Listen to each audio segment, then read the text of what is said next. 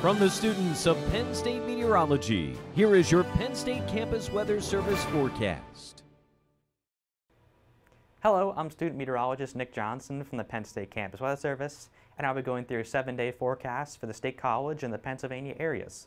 So if you take a look at what we're seeing over Beaver Stadium right now, we have some mostly clear skies um, across the area.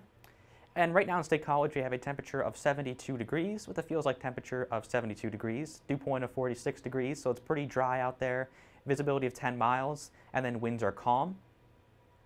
And then for our weather headlines for the remainder of this week, heading into the weekend, and then uh, also into next week, we're going to be having some above average temperatures throughout the, the past several days, and then continuing into, into today as well. And then for tomorrow, it's going to be some rain and thunderstorms, and then that'll be continuing a little bit into Sunday as well. And then heading into next week, it'll be just generally a little bit cooler to start next week, uh, to start the next work week. And then our temperatures across central Pennsylvania are fairly similar, actually. They're pretty much all in the mid 70s right now, uh, at around 11:45 a.m. right now. And then if we zoom out to see the entire state, we can see that generally this trend will continue. Um, with the exception of being Erie is a little bit colder as we have that air coming in from uh, off the lake is cooling it down a little bit, but generally just, you know, uh, in the mid and high 70s, and then also uh, Allentown's up in the low 80s already, and it's not even uh, in the it's not even the afternoon yet. And then if we zoom out to see the entire country, we can see that we have this gradient here in the central portions of the country, which places east of it um, are generally in the 60s and greater. Um, and then places west of it here, uh, as you can see, the gradient uh, are generally more so in the 40s and the 30s. So we have that pretty uh, significant gradient in the center of the country, which is giving um, places east of it some pretty warm conditions, and west are pretty cold. And then if, if, we take a look at our satellite data for this morning, you're going to see we have some partly cloudy skies coming in from the southwest here, but generally just clear skies across the entire state for this morning. And then if we move uh, further out, we can see the, the, entirety of this system coming in from the southwest, which is giving some of, our, from some of the states to our south some precipitation throughout the morning today. And we're going to be seeing that precipitation heading into tomorrow and then also maybe a little bit in the evening as well tonight. And then if we move forward in time, we're going to see some partly cloudy skies, but it's going to be a little bit intensifying in terms of cloud coverage heading into the evening, some mostly cloudy skies. And temperatures are going to be dipping a little bit from the extreme high temperatures that we're going to be seeing throughout the day today.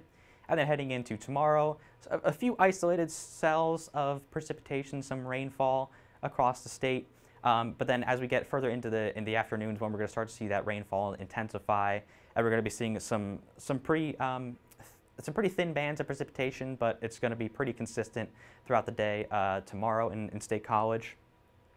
And then if we move forward in time into uh, overnight Saturday into Sunday, you're going to see it's going to be uh, it'll be clearing out a little bit overnight into Sunday, but then by the time we get overnight, uh, by the time we get into the evening Sunday into Monday, we're going to start to see that, that those clouds return to the area, and it's going to be overcast.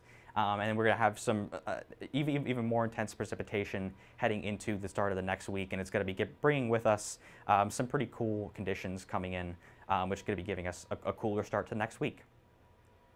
And then for today in State College, we have a high temperature of 84 degrees with generally warm and sunny conditions. And then winds are coming from the south around 3 to 6 miles per hour, which is bringing in that warm air. And then for tonight in State College, we have a low temperature of 59 degrees with a little bit of late showers in late in the evening and then overnight into, into tomorrow. And then winds are coming from the south around 3 to 6, 3 to 6 miles per hour, just consistent throughout the day, winds from the south. And then for our blue-white game tomorrow, um, tailgates are going to be pretty warm and humid with some mostly cloudy skies, a temperature of 67 degrees.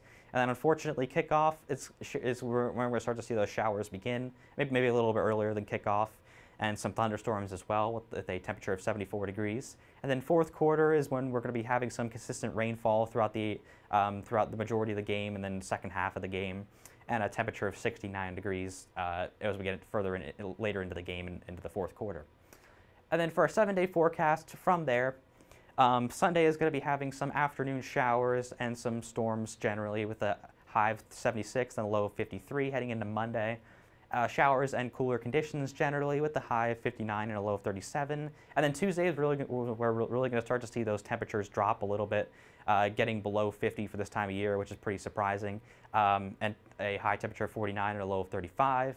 And then Wednesday is going to be, uh, we're going to start seeing that warmth return a little bit more with the high of 64 and a low of 39 in the, in the evening. So it's going to be still pretty cold in the evening, even though it's starting to warm up. And then Thursday, sunny and warm, pretty similar to today, may, maybe not quite as warm, but it's going to be clear skies and it's going to be another beautiful day on Thursday. From the Penn State Campus Weather Service, I'm student meteorologist Nick Johnson. Thanks for listening. Have a great rest of your day and have a great weekend.